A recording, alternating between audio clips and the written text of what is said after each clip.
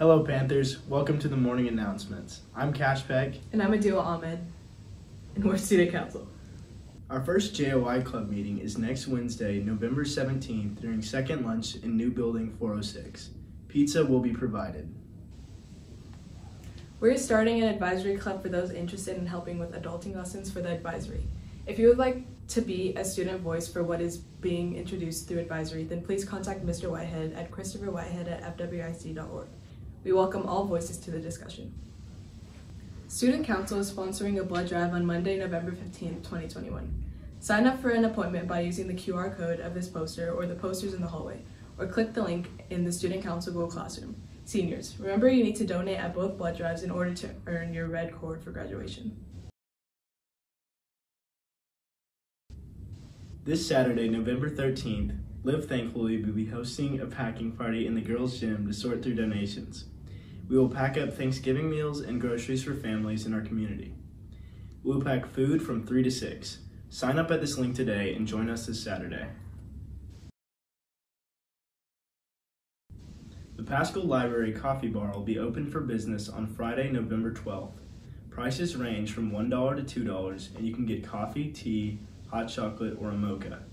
Coffee will be served in the mornings during lunches and after school. Friday is free Marshmallow Fridays, so come early and get some while they're available.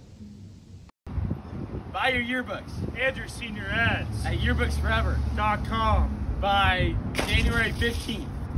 If we sell out within the next week, we'll get matching tattoos of yearbooksforever.com.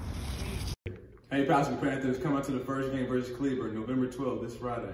It's in the Guest Space Center at 8 o'clock. And it's purple out, so wear your purple. Be there or be square. Hey guys, Student Council is having a supply drive at Ronald McDonald House, and here are some things we need.